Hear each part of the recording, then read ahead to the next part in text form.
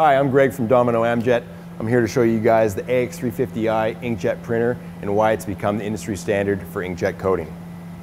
Hand built in the UK, it's a very robust build with an IP65 stainless steel outer shell with the electronics in the back being IP66.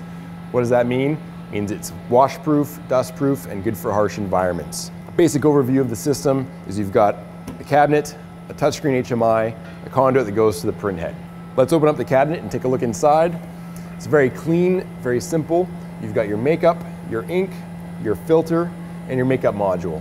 All this works together to give you clean and reliable print. With the filter, this is the only service you do annually, and you do it in-house. It takes about 10 minutes. It's very easy to do. And the purpose of this versus having a technician come in is just trying to drive down that cost of ownership and keeping it simple for the end user.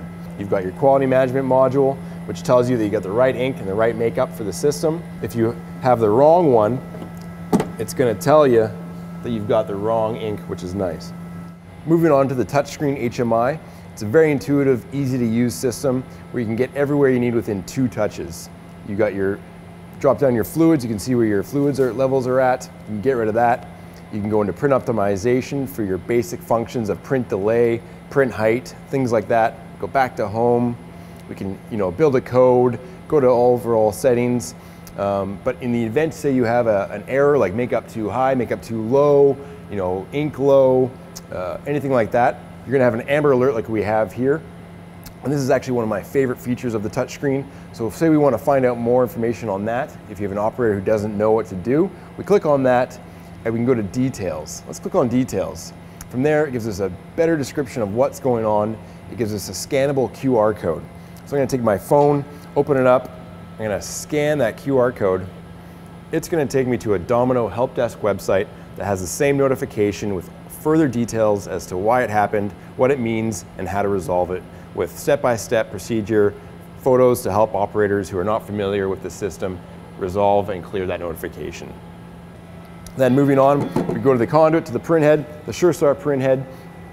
What's nice about the print head is it does a self-flush at the end of every shift when you shut down the printer. So what that does is it cleans the print head itself and goes back into the system. So when you go to start up the next day, the next week, it's all clean. You're not gonna have any problems on that startup. With the AX system, we've got a new designed drop generator that is frequency matched and auto modulating. Those are inside tech terms, but what does that mean for you? It means you're gonna get perfect droplets every time.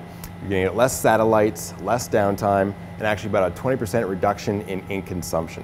What I really like about the Domino SureStart Printhead is that it's serviceable, whereas a lot of the other systems in the market have moved to a modular system. And what that means is if it gets dropped or damaged, you have to replace that entire module, the whole printhead, or sometimes even the conduit as well. That can be very expensive and a very timely procedure. With the Domino printhead, it's serviceable. If you were to say damage a piece of it or something needs to be replaced, it's just that one piece that you can easily change out and again, really driving down that cost of ownership. Let's go build a code. Coming back to the touchscreen, we're gonna build a code from scratch. Again, we're at the home screen. We're gonna touch it. We're gonna create a label. We're gonna start from blank. We'll get rid of the last one we had there. So here we can create the, the name for our label. So let's just call it test one. Like that. Check. Create label. So here goes to our creation screen where we can either start typing in our text right away or a barcode or graphic, or we can go to our label settings and we can select up to five lines of text if we want. But let's just select two where it splits and gives us two lines there. So let's click back there and add some text. For quick and simple, we'll just do one, two, three, four, five, check, and it shows up. We're gonna make that a nine drop high character give us some nice contrast. We're gonna click on our second line. Again, we'll add text, but this time we're gonna add a variable so we can do like a best before or an expiry. So let's just do, you know, BB for best before, and then we're gonna add a variable. And from here, there's a bunch of preset, you know, date codes in there for expiry if we want, or we can create our new one from scratch. But let's just select day, month, year. And it kicks in as a variable, we hit check, and there you go, it shows up as today's date. Okay, we've built our code. Let's go see it in action. Once we're done entering the required code, we can either save it or just hit send to print. And we're good to go. just like that.